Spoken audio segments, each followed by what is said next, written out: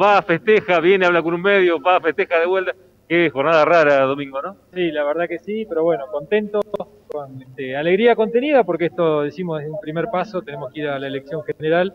con lo cual obviamente no podemos ocultar la alegría de este resultado parcial, eh, que la tendencia ya es irreversible con más del 65% de las mesas escrutadas,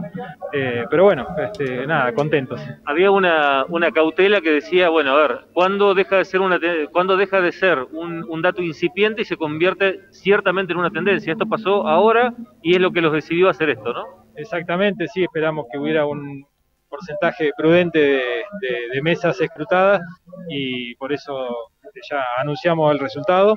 nos parece que la tendencia es irreversible y, y, bueno, creo que es el resultado de, lo decía recién, de un,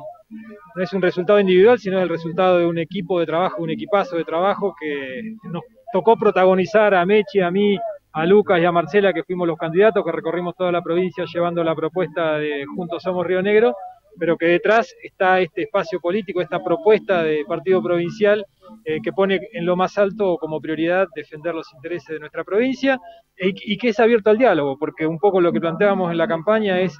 eh, oponernos a esa pelea nacional, a ese no diálogo que en lugar de solucionar los problemas que tanto nos afectan a todos los argentinos, los agrava. Y nuestra propuesta es la propuesta de diálogo eh, y de hablar, o sea, no se pueden solucionar los problemas si uno no habla eh, con el oficialismo y con la oposición. Y nosotros tenemos esa apertura siempre con el objetivo de, conseguir cosas para nuestra provincia y de, y de pelear por este, mejorar la calidad de vida de todos los renegrinos. Usted con mucha cautela dijo, bueno, vamos a esperar que en noviembre esta tendencia se consolide y alguien, creo que fue el intendente, dijo, vamos a duplicar en noviembre.